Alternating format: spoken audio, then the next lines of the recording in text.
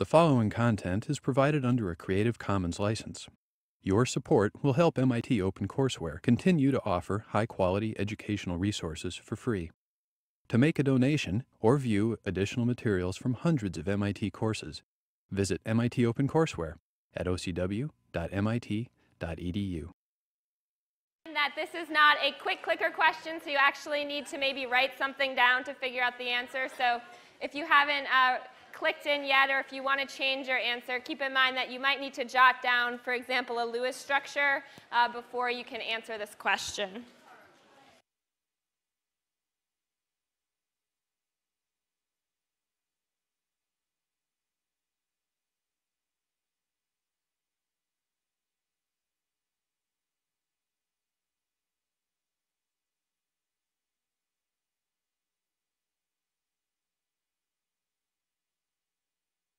And get in your final answer to the clicker question. Uh, for those of you just walking in now, you might not have a chance to get all of the thought process that you need in on this clicker question because it is based on a Lewis structure, uh, so we will go over it. But for those of you that have been here for you know 30 seconds or longer, see if you can get the right answer in here. All right, so, okay, it looks like we have a very mixed uh, response in terms of the answer to the clicker question today. Raise your hand if you didn't have time to figure out the Lewis structure. Okay, so that accounts for some of you. Let's go over the correct answer to this question. So who got the right answer? 31% of us. This is not the kind of um, percentages we're looking for, uh, so let's go over this. On class, in class on Monday, we did go over the geometries, and the geometries themselves are very straightforward once you know what the Lewis structure is. But remember, you can't just always look at a molecule and automatically know the Lewis structure. We actually need to think about those valence electrons. So here we're dealing with selenium hydride, so SEH2. I told you that there's six valence electrons in selenium, so we have six there, plus one for each of the hydrogen. So what we should have is eight valence electrons in our Lewis structure. How many electrons do we need to have full uh, valence shells? 12, that's right. We need 8 plus 4 is 12 for full shells. That means that we need 12, excuse me, yes, that means that we need 12 minus 8, or 4 bonding electrons in our structure. So I tried to give you one that you could draw pretty quickly. It just has hydrogens in it. So we have SEH2. We can do our four bonding electrons. How many valence electrons do we have left? Four. That's right. So we need to fill our octet for selenium. So one, two, three, four. So this is our Lewis structure here. Hopefully you can see why it's not linear. If it were linear, which 32% of you seem to have thought, that would have meant that our Lewis structure had no lone pairs in it, right? And that's, that's not the case. We have two lone pairs. So if we thought about what the bonds were everywhere, it would be 109.5. But it's bent because we're only looking at the bonds. We're not counting the Lewis structures in naming our geometry, but they do affect the angles. And it turns out that it's actually less than 109.5 because those lone pairs are pushing the bonds even further away. Uh, so does this make sense to everyone if you think about it this way? Pretty much. Okay, so we'll try, we'll try another clicker question like this later. Um, some of these questions that look very straightforward, just naming the geometry, you have to remember to do the first step before you jump in and, and go ahead with the naming. So you'll get plenty of practice with this on your problem set if you haven't already. All right, so before we start in with today's notes, I do want to mention uh, that this morning the Nobel Prize in Chemistry was announced. This is an exciting week uh, in science in general because we get to hear another Nobel Prize every morning pretty much. So uh, let's, let's settle down for a second and start listening. All right, so um, today we're going to be talking about molecular orbital theory, but first I wanted to just mention, in case some of you didn't hear what the Nobel Prize was, this morning, and this was in chemistry. It went to three different chemists Osamu Shimomura, uh, who is a, excuse me, I botched that name, uh, Shimomura, who's a Japanese chemist, and then Martin Chalfie, who's at Columbia, and Roger Tsien, who's at UC San Diego. The three of these chemists split the Nobel Prize this morning for their discovery and or their application of using green fluorescent protein, which is also called GFP. How many of you have heard of GFP before? Oh, that's so great. Okay, many of you have heard of GFP. For some of you that haven't, I'll just say uh, that it is, it's a protein. It's 238 amino acids, which means that it's about a, a thousand, actually more than a thousand atoms in size.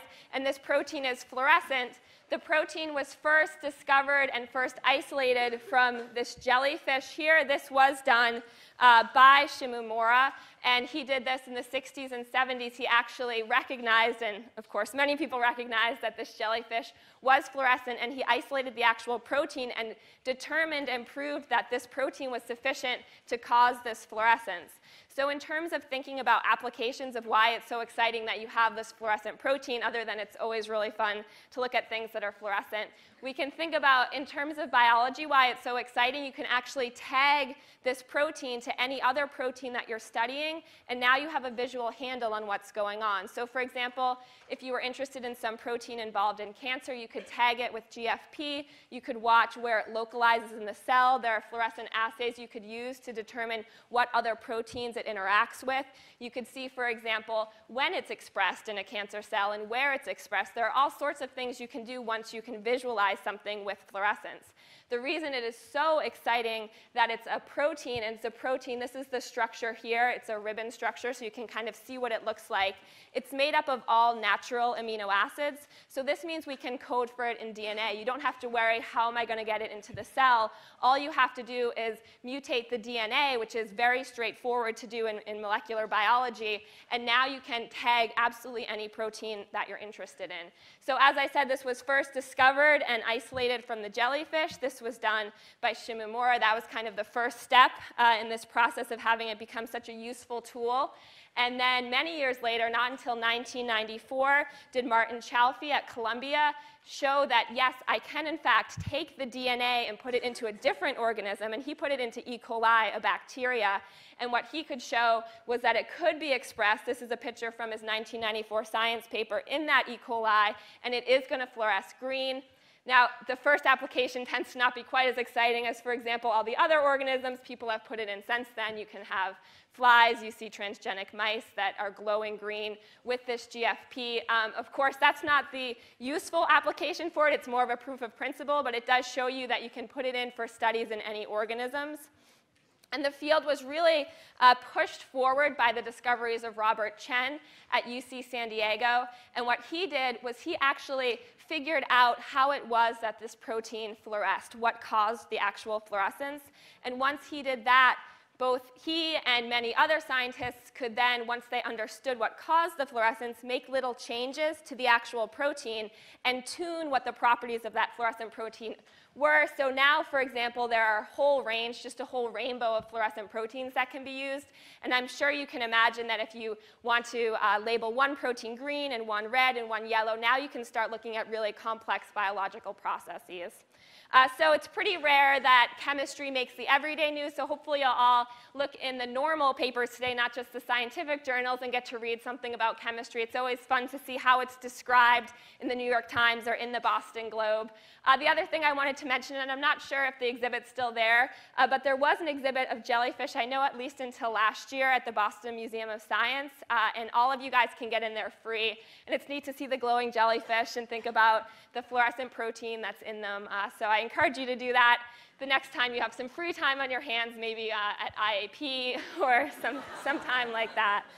All right, so uh, let's move into today's notes. Today we're talking about molecular orbital theory. This is a shift. This is a new topic that we're starting. So far, we've exclusively been using Lewis structures anytime we've tried to describe bonding within molecules. Lewis structures are really useful. We use them all the time in chemistry, and they're useful because, first of all, they're easy to depict, they're easy to draw, relatively easy once we get, get all the rules down, and also they're accurate over 90% of the time. But they're not accurate all the time in predicting bonding between, in, within molecules, and the reason for this is because Lewis structures are not, in fact, based on quantum mechanics. So molecular orbital theory, on the other hand, is based on quantum mechanics. And specifically, MO theory is the quantum mechanical description of wave functions within molecules. So saying wave functions within molecules might sound a little confusing, but remember we've spent a lot of time talking about wave functions within atoms, and we know how to describe that. We know that a wave function just means an atomic orbital. It's the same thing with molecules. A molecular wave function just means a molecular orbital. So we'll start today talking about the two kinds of molecular orbitals. We can talk about bonding or anti-bonding orbitals. Then we're going to actually use MO theory to describe bonding within these molecules.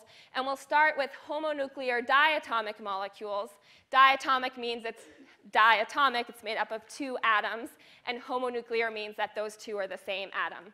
Then at the end, we'll look at, a, at, an example with a heteronuclear diatomic molecule. So again, the same thing, but now two different atoms. So I will point out in terms of MO theory, because it rigorously does take into account quantum mechanics, it starts to become complicated once we go beyond diatomic molecules. So we're going to limit our discussion in 5.111 for molecular orbital theory to diatomic molecules. However, on Friday we will use a different approach so we can talk about bonding within atoms that have more than two, more than two atoms, molecules with more than two atoms. All right, so one thing that I first want to point out about MO theory that is a big difference from Lewis structures is that in MO theory, valence electrons are delocalized over the entire molecule. So when we talked about Lewis structures, we actually assigned electrons to individual atoms or to individual bonds. Whereas in molecular orbital theory, what I'm telling you is instead we understand that the electrons are spread all over the molecule. They're not just associated with a single atom or a single bond. So specifically, what we do associate them instead is within molecular orbitals. And what we say is that they can be either in bonding or antibonding orbitals. And again, I want to point out that a molecular orbital, we can also call that a wave function. They're the same thing. And these orbitals arise from the combination of individual atomic orbitals. So if we have two atomic orbitals coming together from two different atoms and they combine, what we end up forming is a molecular orbital. The reason that we can talk about this is remember that we're talking about wave functions. We're talking about waves, so we can have constructive interference in which two different bond or two different orbitals can constructively interfere. We can also have destructive interference. So we'll start by taking a look at constructive interference. And another way to explain this is just to say again, molecular orbitals are a linear combination of atomic orbitals. So let's start our discussion of a bonding orbital. Our simplest case that we can look at would be if we had two 1s orbitals coming together. So let's say, for example, in a hydrogen atom. So in hydrogen atom A, I'll depict that here, where the nucleus is this dot, and then the circle is what I'm depicting as the wave function. It makes sense to draw the wave function as a circle because we do know that 1s orbitals are spherically symmetric. So we can say that a circle is a good approximation for a 1s wave function. Similarly, with the second hydrogen atom, we've got the nucleus in the middle and the 1sb wave function around it. So these are atomic orbitals. What we're going to do in forming a molecule is just bring these two orbitals close together such that now we have their nucleus, the two nuclei, at a distance apart that's equal to the bond length. And what we end up forming is a molecular orbital because as we bring these two atomic orbitals close together, the part between them, that wave function, constructively interferes such that in our molecular orbital, we actually have a lot of wave function in between the two nuclei. So we can go ahead and name our molecular orbital just like we know how to name our uh, atomic orbitals. And I'm going to name this sigma 1s. The 1s just comes from the fact that the molecular orbital is a combination of two 1s atomic orbitals. And the sigma tells us something about the symmetry of this molecular orbital, specifically that it's cylindrically symmetric about the bond axis. So this is the bond axis. It's just the axis between the two nuclei. Sometimes it's also called the internuclear axis. So anytime you have two atoms bonding, the bond axis is just the axis that, that they're bonding along. Another thing I want to point out about every sigma orbital that you see and it will make more sense when we contrast it with pi orbitals later, but in sigma orbitals, you have no nodal planes along the bond axis. So we would, if we had a nodal plane here, we'd see an area where the wave function was equal to zero. We don't see that. It will make more sense when we can show you one where it does have that area. But keep in mind, uh, sigma orbitals have no nodal planes along the bond axis. All right, so let's look at this in another way. Sometimes it's hard to picture these waves combining, so let's think of them a little bit more uh, by graphing the amplitude of the wave and seeing how we can have this uh, constructive interference. So again, if we think of a graph of the wave function, we have the wave function is at its highest amplitude when it's lined up with the nucleus, and then as we get further away from the nucleus, the uh, amplitude of the wave function ends up tapering off uh, until it's, it never hits zero exactly, but it goes down very low. So we can draw that for 1SA. We can also draw it for 1SB. And what I'm saying for the molecular wave function is that we have the interference between the two, and we have a constructive interference. So we end up adding these two wave functions together. So we're talking about wave functions, and we know that means orbitals. Uh, but what this is probably the more uh, the better way to think about it is the physical interpretation of the wave function. So what is the wave function squared going to be equal to? Probability density, yes. Probability density of finding an electron within that molecule uh, in some given, given volume. So let's think about that instead. Let's think about probability density. So if we're talking about probability density, that's the wave function squared. But now we're talking not about an atomic wave function, we're talking about a molecular wave function.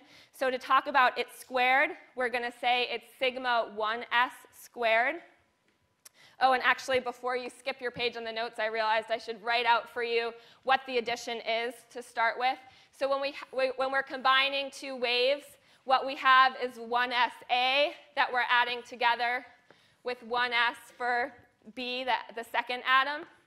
And what we end up for our uh, molecular wave function is sigma 1s. So this is what we call our molecular orbital. All right, so that will now allow you to turn the page, I think, uh, and we can take a look at the probability. So the probability, again, that's just the orbital squared, the wave function squared. So when we write that out, we just write sigma 1s squared or we can break it up into its individual parts. There's no reason we can't do that as well. So just to say that it's 1s squared plus 1sb, all of that together squared. So if we write out every term individually, what we end up with is essentially just the probability density for the first atom, then the probability density for the second atom, and then we have this last term here, and this is what ends up being the interference term. So in this case, where we're adding it together, this is going to be constructive interference. So in this case, the cross term represents constructive interference between the two 1s atomic wave functions. And this, again, is what we're going to call a bonding orbital. So it can often make a lot more sense if we think about things in terms of energy. We've been discussing energy diagrams a lot in this class. It's a very good way to visualize exactly what's going on. Uh, so let's think of the energy of interaction when we're comparing atomic orbitals to molecular bonding orbitals. And what you find is when you have a bonding orbital, the energy decreases compared to the atomic orbitals. So you can see here in this slide, we have the atomic orbitals for the two hydrogen atoms. Each of them have one electron in them. Hydrogen has one electron in a 1s orbital. So if we look at the molecular orbital, that's actually going to be lower in energy than either of the two atomic orbitals. So it's going to be favorable for the electrons instead to go to that lower energy state and be within uh, the molecular orbital. So uh, let's draw in our electrons there. So we have our two electrons now in the molecular orbital. So anytime that you're drawing these molecular orbital diagrams, you want to keep in mind that the number of electrons that you have in your atomic orbitals, you need to add those together and put that many electrons into your molecule, right? We had one from each atom, so that means we need a total of two in our molecular orbital. And what you can see directly from looking at this energy level diagram is that the molecule that we have is now more stable than the individual atoms. That makes sense because we're lower in energy. The electrons are now lower in energy. So that's the idea of a bonding molecular orbital. Since we're talking about wave functions, since we're talking about the properties of waves, we don't only have constructive interference, we can also imagine a case where we would have destructive interference. Just like we see destructive interference with water waves or with light waves, we can also see destructive interference with orbitals. So let's think about what that would look like. So in this case, we would have 1SA and 1SB, and instead we would subtract one from the other. And what we would see is that instead of having additional more wave function in the middle here, we've actually canceled out the wave function, and we end up with a node. So we can also name this orbital, and this orbital we're going to call sigma 1s star. So if we uh, name this orbital, this is an anti-bonding molecular orbital. So we had bonding, and now we're talking about anti-bonding. When we talk about anti-bonding, essentially we're taking 1sa, and now we're subtracting 1sb. And what we end up with, again, is sigma 1s. And the important thing to remember is to write this star here. So anytime you see a star, that means an antibonding orbital. Again, we can look at uh, this in terms of thinking about a picture this way, in terms of drawing the wave function out on an axis. So we have 1SA, and we're drawing this as having a positive amplitude, but since we have destructive interference, we're going to draw 1SB as having the opposite sign. So we have a plus and a minus in terms of signs. So that should make it very easy to picture that this is being canceled out in the middle. If we overlay what the actual molecular orbital is on top of it, what you see is that in the center you end up canceling out the wave function entirely. So this is the 1s star, sigma 1s star orbital. And what you have in the center here is the node, right in the center uh, between the two nuclei. So again, if we look at this in terms of its physical interpretation or probability density, what we need to do is square the wave function. So if we square sigma 1s star, we flip the amplitude so it's all positive now. But again, we still have this node right in the middle. So if we talk about the probability density and we write that in, it's going to be sigma 1s star squared. So now we're talking about 1sa minus 1sb, all of that being squared. And again, if we write out what all the terms are, we again have 1sa squared plus 1sb squared. But now what we're doing is we're actually subtracting the interference term. So if we're subtracting the interference term, what we have here now is destructive interference. So let's think about the energy of interaction here. When we were talking about constructive interference, we had more electron density in between the two nuclei, so that lowered the energy of the molecular orbital. So bonding orbitals are down here. But when we think about where antibonding orbitals should be, it should be higher in energy. It, it's increased compared to the atomic orbitals. So we would label our antibonding orbital higher in energy than our 1s atomic orbitals. So let's think a little bit about what this means. First of all, again, to repeat, anytime we see the star, sigma 1s star, that's an antibonding orbital. When we talk about that, basically what we're saying, and you can see that because of that negative interference, we actually have less electron density between the nuclei than we did when they were two separate atoms. So you can see that this is non-bonding, this is even worse than non-bonding, it's anti-bonding because we're actually getting rid of electron density between the two nuclei. And we know that it's electron density between the nuclei that holds two atoms together in a bond. So what I want to point out is that it creates an effect that is exactly opposite of a bond. You might have thought before we started talking about molecular orbital theory that non-bonding was the opposite of bonding. It's not. Anti-bonding is the opposite of bonding, and anti-bonding is not non-bonding. We can see that if we just look at this picture here. Here's bonding, and here is non-bonding. Anti-bonding is even higher in energy than non-bonding. And the other thing to point out is that the energy that an antibonding orbital is raised by is the same amount as a bonding orbital is lowered by. So anytime I draw these molecular orbitals, I do my best, and I'm not always perfect at trying to make this energy difference exactly the same for the antibonding orbital being raised versus the bonding orbital being lowered. So those should be raised and lowered by the same energy. So now let's take a look at some of, oh, is there a question up there?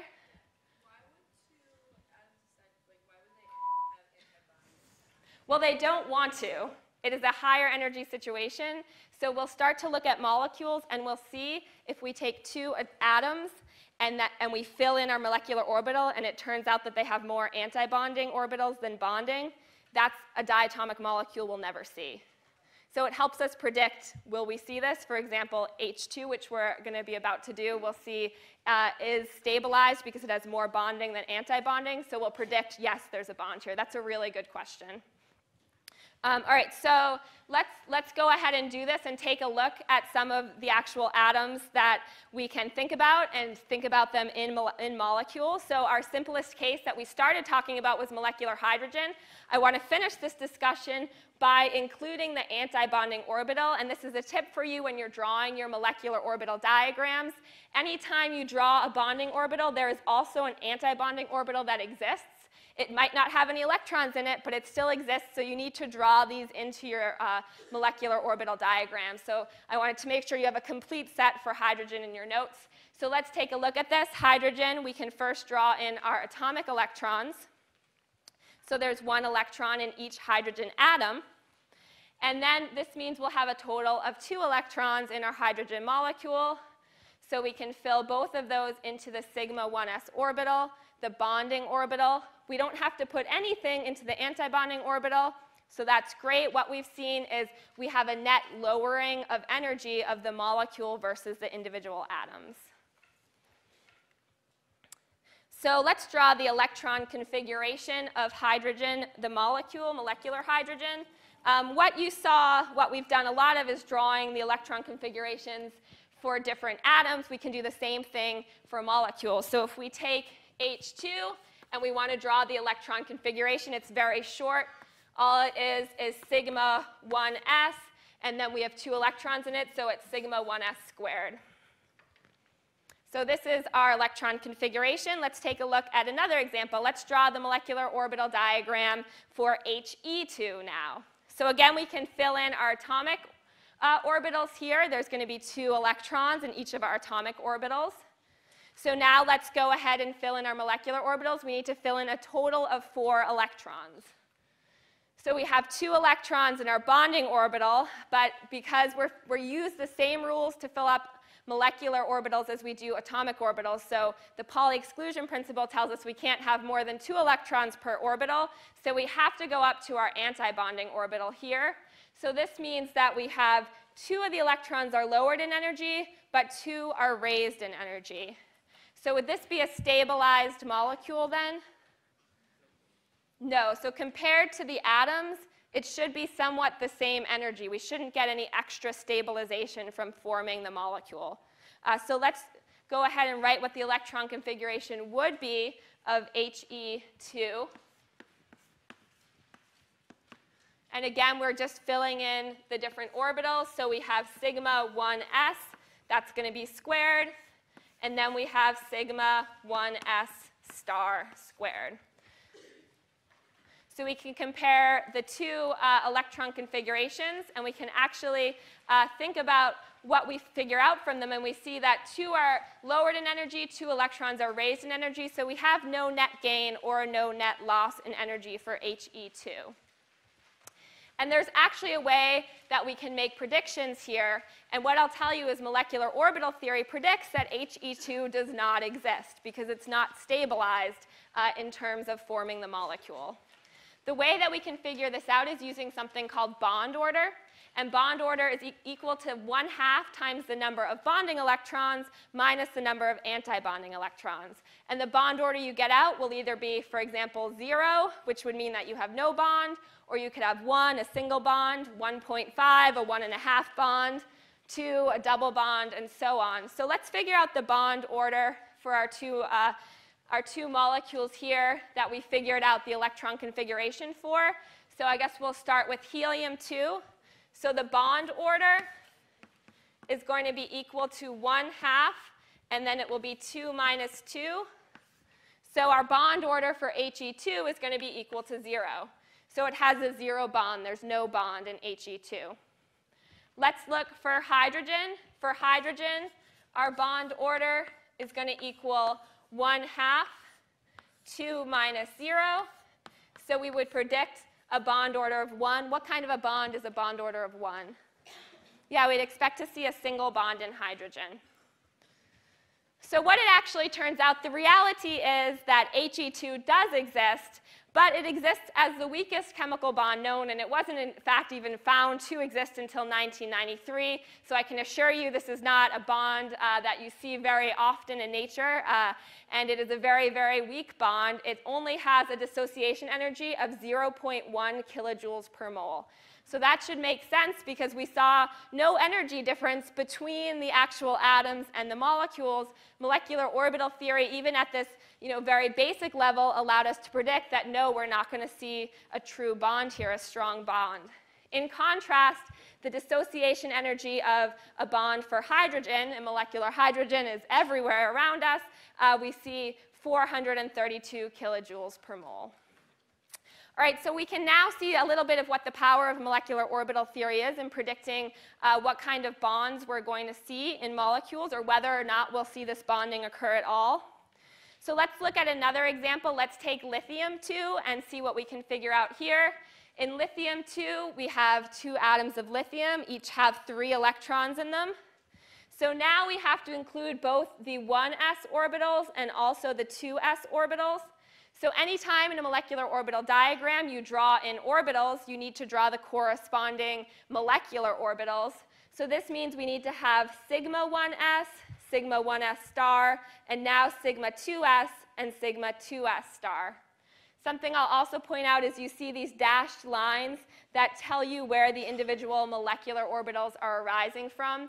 As you get to higher and higher atomic numbers of uh, molecules that you're making, it makes a lot more sense to look at a diagram when you draw these dotted lines in because they can start to get a little bit confusing. So when you go ahead and draw these on your problem sets or on your exams, it's a good idea to put these dashed lines in, both for you and for people reading it to see exactly where your molecular orbitals are coming from. So this means we have a total of six electrons that we need to put into molecular orbitals. So again, we just start filling those up. We have two in the 1s, two in the sigma 1s star, and then we have 2 in the sigma 2s. So we should be able to also calculate the bond order, just like we did for hydrogen and helium. Uh, first, we can do that by knowing the electron configuration. We can write it out just by going up the table here, up the energy levels. And you can go ahead and tell me what you think the bond order is going to be for this molecule.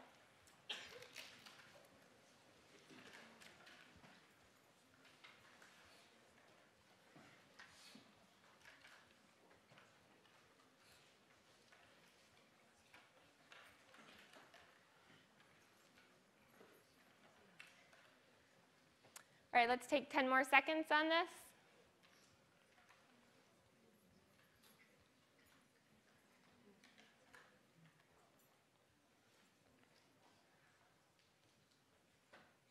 Okay, good. We're back on track a little bit with our clicker answers. So it's correct three, uh, or selection three, or one uh, is the bond order. So let's switch back to our class notes and look at what this means. So we know that it's 1 because we have 1, 2, 3, 4 bonding, minus 2 anti-bonding, and 1 half of that is a bond order of 1. We would predict to see a single bond between lithium, and it turns out that's what we see. And so you have, for reference, the dissociation energy of lithium-2 is 105 kilojoules per mole. So let's keep moving along the periodic table and keep applying our molecular orbitals. Uh, for example, now with Be2, so beryllium-2 has four electrons in terms of each atom. So you can start by filling those in, and now we can fill in our molecular orbitals as well. This means we need a total of eight, or eight electrons in our molecular orbitals. So we have two in the 1s, two in the sigma 1s star, two in the sigma 2s, and two in the sigma 2s star. So let's go ahead and figure out the bonding uh, order for beryllium here.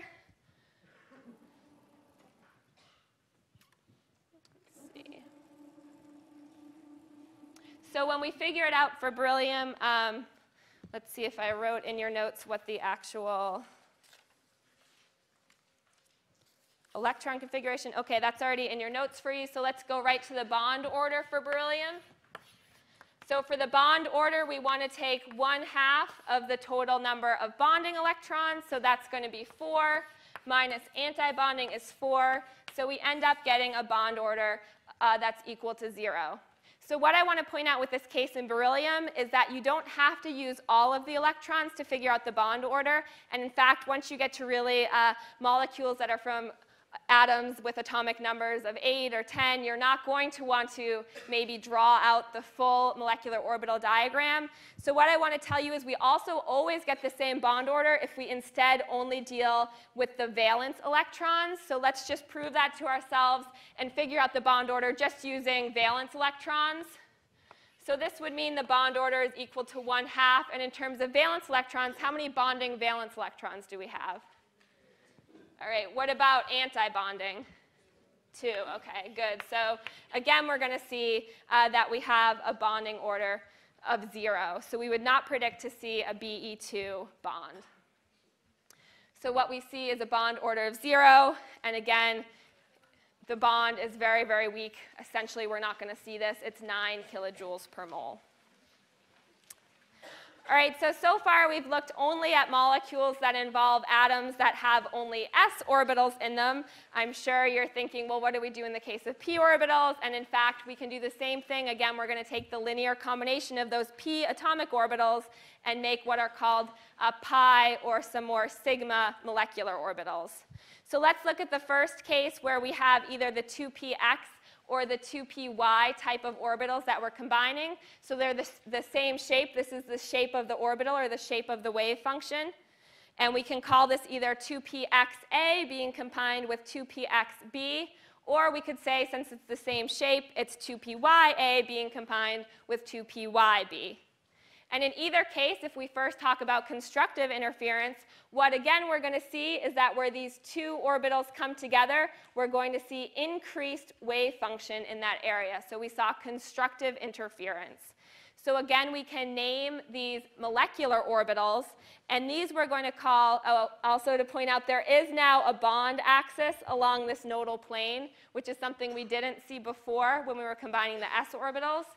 So when we go ahead and name these, we're going to call these pi orbitals. We'll call it either pi 2px if we're combining the x orbitals, or pi 2py. The reason that I wanted to point out this uh, nodal plane here is because this is why it is called a pi orbital. Pi orbitals are molecular orbital that have a nodal plane through the bond axis. Remember, this is our bond axis here, and you can see there's this area where the wave function is equal to zero all along that plane. That's a nodal plane. So that's why these are pi orbitals instead of sigma orbitals. So again, we can think about the probability density in terms of squaring the wave function. So now what it is that we're squaring is if we're talking about the x orbital, it's pi 2px squared. And this is just equal to the uh, square the 2pxa plus the 2pxb all squared, or if we write out all of the terms, we have uh, 2pxa squared plus 2pxb squared, and then this term here. And again, this is our interference term. In this case, is it constructive or destructive interference? Constructive interference. We're seeing the, the wave functions adding together and giving us more wave function in the center here. All right, so we see constructive interference. Of course, we can also see destructive interference. So uh, I changed the colors here to show that these are two p orbitals with an opposite phase or an opposite sign. So what happens when we add a 2pa uh, and we subtract from it a 2pxb, or the same with a 2pya, subtracting a 2pyb, is that we're actually going to cancel out the uh, wave function in the center. So we now have two nodal planes.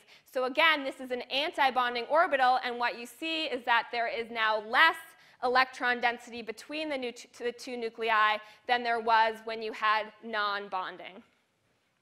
So we're going to call this the sigma 2px star, or if we're talking about the 2py orbitals, we'll call this uh, the, excuse me, the pi 2px star and the pi 2py star. And the pi star orbitals result from any time you have destructive interference from two p orbitals that are either the px or the py. So now we can move on to an example where we do, in fact, have to use some uh, p orbitals. So this would be b2. How many electrons are in boron? Five. I see a, some hands going up. There's five electrons. Um, so what you'll notice here is that I only filled in three electrons. Which, what do these electrons represent? valence electrons. Okay, so sometimes you're going to be asked to draw a molecular orbital diagram where you're asked to include all electrons, and sometimes it will specifically say only include valence electrons. That happens because of space issues, uh, that you are asked to do that because you can always assume that all of the core orbitals are already going to be filled. So in this case, we're just drawing the molecular orbital diagram for the valence electrons, so we have three for each. And what we see here is now when we're combining the p, we have our 2px and our 2py pi orbitals that are lower in energy, and then our pi antibonding orbitals that are higher in energy. You might be asking where the 2pz orbital is, and we'll get to that soon uh, once we need it. Let's just first fill in this for the uh, B2 case. So we can start at the bottom, two electrons in sigma 2s, two electrons in sigma 2s star. Now we need to jump up to using uh, these pi orbitals. And what we're going to do is put one electron into each of our pi 2px and 2py orbitals. So again, you can see as we're filling up our molecular orbitals, we're using the exact same principle we used to fill up atomic orbitals. So let's think about what the valence electron configuration is here. So now we're looking at the case of uh, B2. And what we're looking at is a valence electron molecular orbital diagram. So let's just draw the electron configuration for the valence orbitals.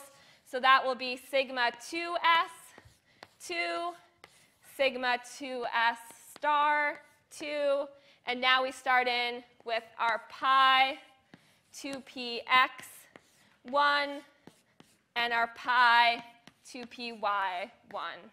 So this is our valence electron configuration for B2. All right, uh, so what would you expect the bonding order for B2 to be? Shout it out if you know. One. And I didn't write it up there, but it is 1, and we can see that it's 1 because it's 1 half of 2, 4 minus 2, so 1 half of 2, the bonding order is going to be equal to 1. So let's move on to another example. Let's talk about carbon here. Again, we're just talking about the valence electrons. So carbon has four valence electrons. So if we talk about C2, again, we're going to start filling in our molecular orbitals. And now we're going to have eight electrons to fill into our molecular orbitals. So we'll put 2 in the sigma 2s, 2 in the sigma 2s star, and now we're going to fill 1 and 1 into each of our pi, 2px, and 2py, but we still have two electrons left. So what we're going to do is double up in terms of our 2px and our 2py. So let's think about what this valence electron configuration is for C2. And again, I want you to have practice drawing these out in the form. You always need to start with the sigma and then write the uh, number of the orbital. So sigma 2s, it has two electrons. Sigma 2s star with two electrons. And now we have sigma 2px. How many electrons here? Two. And sigma 2py, two electrons here oh, excuse me, pi 2py, thank you, pi 2px and pi 2py. So let's talk about what the bonding order is going to be for C2. So what's the bonding order for C2? 2? Okay, so we have 2, 4, 6 minus 2. So we have 1 half of 6 minus 2, so that's 1 half of 4. So we have a bonding order of 2 for carbon 2. So we would expect to see a double bond for C2 where we would expect to see a single bond, a double bond for C2 and a single bond for B2. And that is, in fact, uh, what we can surmise if we look at the different dissociation energies for the two bonds. So for B2, which is a single bond, that's 289 kilojoules per mole to break it, and it takes us more energy to break this double bond for carbon, which is 599 kilojoules per mole. So in general, what we see, and this is always true if we're comparing the same atom, and in general if we're comparing different types of molecules, but we know that a single bond is always weaker than a double bond, which is weaker than a triple bond. And obviously, no bond is the weakest of all. That's not bonding. Um, all right, so let's look at now at the case where we do have two pz orbitals that we're talking about. So again, what we're talking about is the linear combination of atomic 2p orbitals, and now we're talking about 2pz. So if we have constructive interference between the two, what we're going to see as our atomic orbital, looks, our molecular orbital looks something like this. Do you predict that this will be a sigma or a pi orbital? All right, I'm hearing a little of both, but I'm very encouraged to hear uh, quite a few people saying sigma. This is, in fact, a sigma 2pz orbital is what this orbital is called. The reason that it's sigma is if you look at the bonding axis here, is that there is no nodal plane along the bonding axis. Also, it is cylindrically symmetric across around the bonding axis. So this is how we know that it's a sigma orbital. So some p orbitals form pi molecular orbitals and some form sigma p orbitals. Specifically, it's always the z that forms the sigma orbital, and the reason is at least at a minimum for this class, we always define the internuclear axis as the z-axis. So this is always, always the z-axis, so it's always going to be the two pz's that are coming together head-on. The reason that there uh, is increased electron density here is you can see that these two orbitals come together and constructively interfere. We can also talk about antibonding orbitals where we have destructive interference. So instead, these would be canceling out wave functions between the two. So we would end up with a nodal plane down the center. Would this be a sigma or a pi? It's still sigma. So even though we see a nodal plane down the center, I just want to really point out that it's only when we have a nodal plane in the internuclear or the bond axis that we're calling that um, a pi orbital. So this is still a sigma. It's a sigma, sigma 2pz star orbital. We have destructive interference here. So now let's look at an example where we talk about uh, using these two pz orbitals. So let's look at oxygen. So the first thing I want to point out is that the 2pz, the sigma 2pz, is even lower in energy than the pi orbitals here. And it's the, the anti-bonding sigma orbital is going to be higher in energy than the pi 2p orbitals that we have here. So in oxygen, again, this is just showing the valence electrons. So we end up having six valence electrons from each oxygen atom. We can fill right up our table just like we did before, but now we have included our 2pz orbital here. So we have two electrons in sigma 2s, two in sigma 2s star. In sigma 2pz, we have two. Those are filled first. And now we're going to put one into pi 2px and one into pi 2py. So we can write out what the uh, electron configuration is here, and I think that I have already written that out for you in, in your notes. What is the bond order of O2? It's 2. So, uh, oh, excuse me, I didn't fill in all of my electrons. All right, so we had a total of 2, 4, 6, 8. So we had a total of 12. So we filled in 4 here. We need to keep going. all right, so I did this not at all purposefully, but this can point out for you that you need to make sure that the number of electrons that you have uh, in your molecular orbital does match up with the total number that you have in your atomic orbitals. So I did not do any counting up here. You should make sure you do counting. I apologize. So we need to fill all the way up to uh, the pi 2px and the pi 2py. All right, so the bonding order, you're correct, should be 2 if we subtract the number of bonding minus antibonding electrons and take that in half. And what I want to point out that we just figured out from molecular orbital theory is that O2 is a biradical because remember the definition of a radical is when we have an unpaired electron.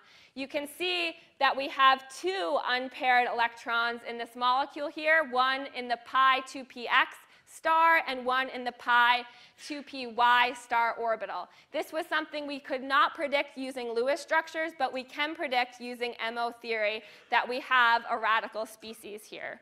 So that's a really important type of an application that we can use MO theory for that we weren't able to do with our Lewis structures. All right, I want to do one more uh, homonuclear example here, and this is N2.